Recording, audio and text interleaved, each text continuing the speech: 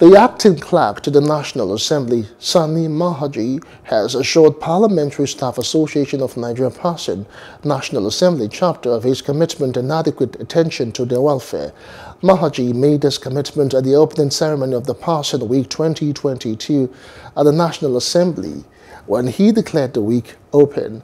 He also assured the staff that he will operate an open door policy and hope that these will be reciprocated with a high sense of responsibility in tabling issues concerning staff.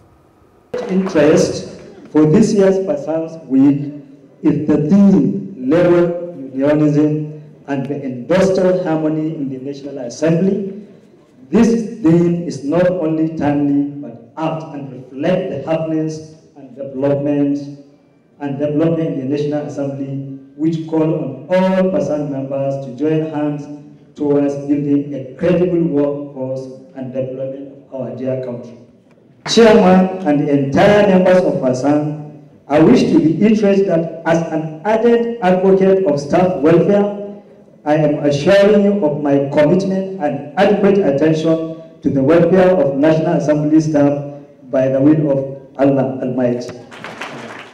Hello. Hope you enjoyed the news. Please do subscribe to our YouTube channel and don't forget to hit the notification button so you get notified about fresh news updates.